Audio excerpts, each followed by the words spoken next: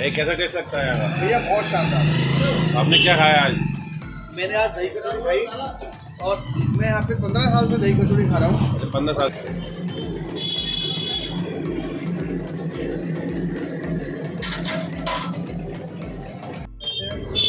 भैया अपनी शॉप को कितना समय हो गया? ये शॉप सर 63 से। है। सिक्सटी थ्री से जी ये तीसरी जनरेशन काम कर रही है दादाजी ने स्टार्ट किया। दादाजी ने स्टार्ट किया था। जी सर। तब भी इसी के साथ मिलती दही के साथ चटनी जयपुर के अंदर दही कचौरी स्टार्टिंग इसी दुकान से हुई। है। अच्छा जयपुर में स्टार्टिंग यहीं से दही हुई है, कचौरी।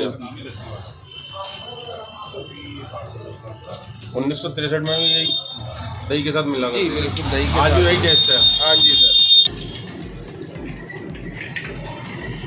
बना रहे भैया। ये दाल की इनकी कचौरी है। दाल हिंग की कचौड़ी जो यहाँ की फ़ेमस है। हाँ ये कचौरी अपनी फ़ेमस है और दही कचौड़ी में बोलते हैं। अपने दही कचौरी पूरी जयपुर में दही कचौरी अपने दी जाती है वही किस चीज़ की रहती है? क्या रहता है? अंदर क्या भरते हैं इसमें? इसमें जैसे कि धनिया जीरा गरम मसाले गरम मसाला हींग। दाल का कचौरी होता है इसके अंदर बहुत सारे मसाले सभी मसाले घर पे तैयार किए जाते हैं उससे बनाया जाती है। स्पेशल हिंग कचौरी है इसके अंदर हिंग का ही फ्लेवर आएगा। दाल की कचौरी है हिंग का फ्लेवर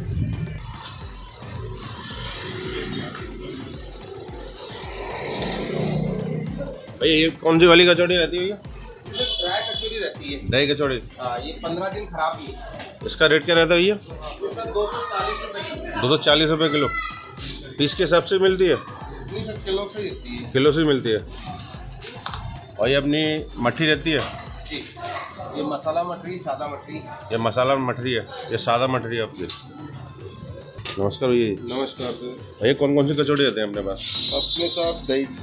दही कचौरी होती है दाल की कचौरी होती है प्याज की कचौरी होती है। दही दाल और प्याज और मावा कचौरी। मावा कचौड़े।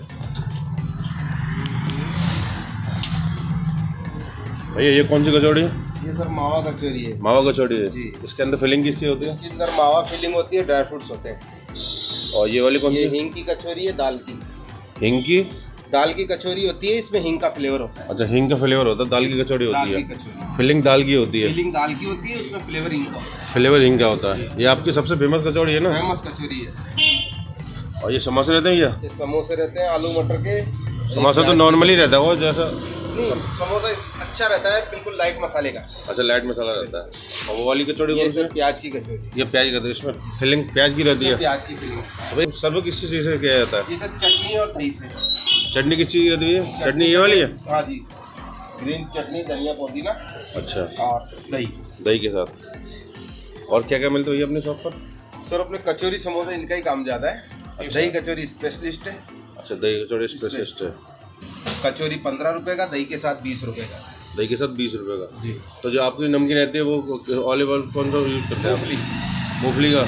कचौरी वगैरह सभी में मूंगफली का सब चीज़ मूंगफली के तेल में फ्राई किया है जयपुर में अक्सर देखा मूंगफली का तेल ज़्यादा यूज़ जी मूंगफली का ही खाते हैं। सब मूंगफली का या देसी की या मूंगफली का? जी जी। घर में भी जो यूज़ ज़्यादातर आता है सब मूंगफली रहती है। मूंगफली रहती है। भाई यहाँ की लोकेशन क्या रहती है? यहाँ की लोकेशन रहेगी सर चौड़ा रास्ता SBI bank S B I में चौड़ा रास्ता। पूरन कचौड़ी पूरन जी कचौड़ी वाले। और भैया टाइमिंग क्या रहती है अपनी? सुबह सर आठ बजे से कचौरी रेडी होती है रात को आठ बजे तक बनती है। और जैसे ये कचौड़ियाँ कोई बाहर ले जाना चाहे तो कितने दिन तक चल जाते हैं? ये दाल की कचौरी सर आठ दिन खराब नहीं होती। आठ दिन खराब नहीं होगी? जी। तो हमें कौन सी टेस्ट कराना भाई? दही कचौरी खाओ स्पेशल जो है। तो जयपुर में पहले आप। दही कचौरी को जो सर्व कर जी दही कचौरी यही मिलती है सर दुकान पे जयपुर में सभी जगह चटनी वगैरह। दही आ गए। सारा फ्रेश दही रहता है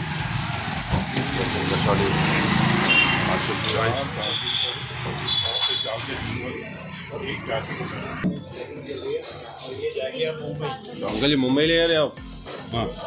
पहले भी टेस्ट किया आपने हाँ, पहले किया हुआ ना। पहले टेस्ट किया अच्छा लगा टेस्ट बिल्कुल बढ़िया फ़र्स्ट क्लास तो आप मुंबई तो ले कचौरी एक समोसा दे दो।